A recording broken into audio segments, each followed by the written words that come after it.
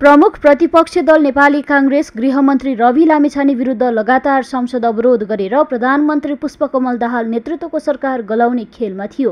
तर काङ्ग्रेसको लगातारको अवरोधका बीच सरकारले आइतबारबाट सदन अवरोध गरेपछि अब काङ्ग्रेसको आगामी रणनीति के हुन्छ भन्ने चासो बढेको छ। त्यसो त गृहमन्त्री लामिछानेमाथि टेकेर प्रधानमन्त्री दाहाललाई गलाउने खेलमा रहेको काङ्ग्रेस नेकपा एमालेसँग नरम देखिन्छ। प्रतिपक्षमा पुगेदेखि नै एमालेको साथको महसुस गरेको काङ्ग्रेस अब एमाले सँगै हातेमालो गरेर सत्ता सञ्चालन गर्ने उद्देश्यमा छ। काङ्ग्रेसका नेताहरूले अब स्थिर सरकारका लागि काङ्ग्रेस एमाले मिल्नुको विकल्प नरहेको बताउन थालेका छन्।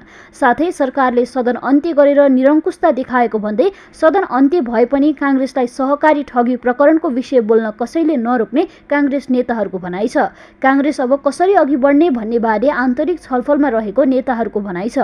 अहिले चाहिँ यो र यो मिल्ने मिल्ने भनेर म त जो साथीहरूले हाम्रै साथीहरूले भनिरहेछन् गर्ने भएदैन आन्तरिक रूपबाट अभ्यास गरेर गरे भइहाल्यो किन बोलेर कराएर हिँड्नु पऱ्यो त्यसले के के गर्छ थाहा छ? अनि एमाले के अरे प्रधानमन्त्रीलाई बढ्ता दबाबमा राखेर आफ्नो काम गराउनलाई बाध्य बनाउँछ। र प्रधानमन्त्री पनि जसरी पनि एमाले खुसी गराउनु लाग्छ काङ्ग्रेसले के फाइदा हुन्छ त?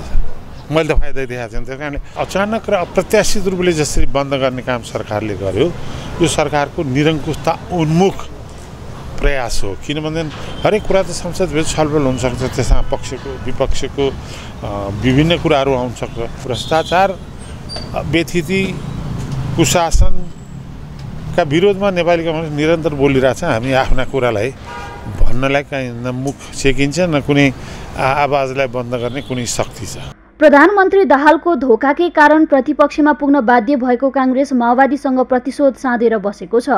माओवादीसँग बदला लिन पनि काङ्ग्रेस यो समीकरण भत्काउन चाहन्छ। त्यसैले बरु एमाले सँगसँगै राष्ट्रिय स्वतन्त्र पार्टी रासोपालाई पनि आफूतिर ल्याएर प्रधानमन्त्री दाहाललाई एक्ल्याउने रणनीतिमा छ। काङ्ग्रेसले पहिला पनि रासोपालाई प्रधानमन्त्रीको प्रस्ताव राखेर आफूतिर ल्याउन नचाहेको होइन। गृहमन्त्री लामिछानेले संसदीय छानबिन समिति गठन भए राजीनामा दिने अभिव्यक्ति दिएपछि दाहाल नेतृत्वको सरकार अल्प मतमा पर्न जान्छ। यसैको मौका छोपेर काङ्ग्रेस रासोपा एकीकृत समाजवादी लगायतका दललाई आफ्नो पक्षमा पार्ने योजनामा छ।